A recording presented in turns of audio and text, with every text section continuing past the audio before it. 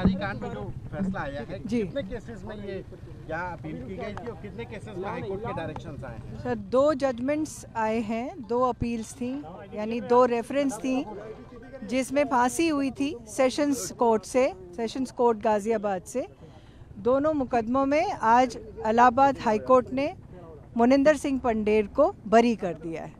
बाइज्जत बरी कर दिया सुरेंद्र सुरेंद्र कोहली को भी बाकी जितने भी अपीलें यहाँ पर थी सब में बरी कर दिया गया। कितने केसेस में अपील की गई थी और कितने में कोहली में मेरे ख्याल से चौदह के आसपास थी चौदह के चौदह थे शायद हाँ।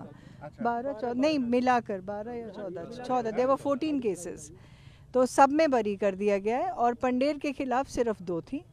तो उन दोनों में बरी कर दिया तो ये मतलब बरी कर दिया कि मतलब कोई सजा नहीं है? अब कोई सज़ा नहीं है। सेशंस कोर्ट का जो जजमेंट है उसे रिवर्स करके एक्विटेड